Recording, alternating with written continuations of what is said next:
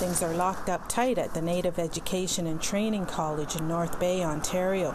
This notice, posted on the door dated February 7th, states Due to non payment of rent arrears, the landlord has terminated the lease and hereby repossessed the premises and there's been no access to online programs for students either.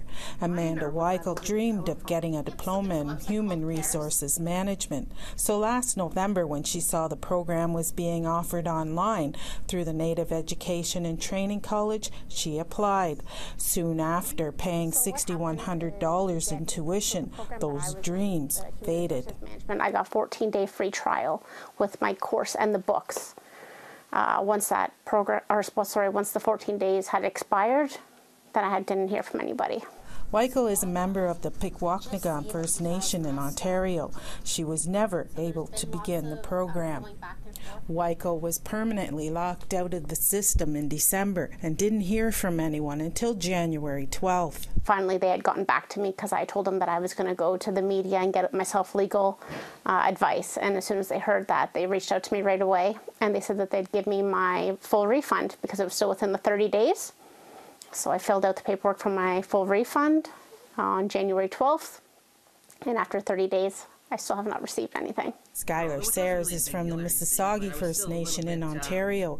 He was taking the environmental technician program. Sayers has been locked out too, although his band did pay for the program. in the end, there, I did the exam on January 4th and um,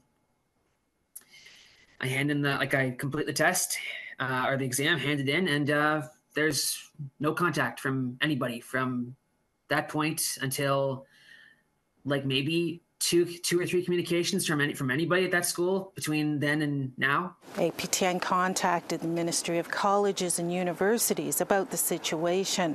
Its response, the superintendent of career colleges is aware of the students' concerns and is speaking with the parties to facilitate a resolution. In an emailed statement from Larry Stewart, the owner of NETC, he claims someone had stolen the tuition checks from his mailbox and that their online platform platform was hacked and that all the instructors had quit.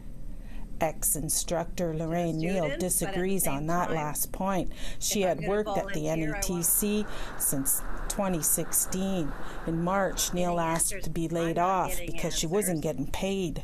And it was frustrating. So that's why I requested to be laid off.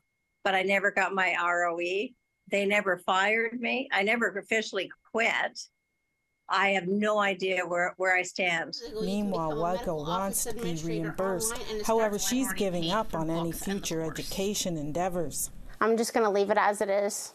Um, unfortunately, it just kind of put a bad taste in my mouth, and I don't, I'm not going to pursue it. According to Stewart's statement, tuition fees are now refundable and they're working on transferring students to another online platform. In the meantime, the school and available programs continues to be advertised online. Annette Francis, APTN National News, North Bay.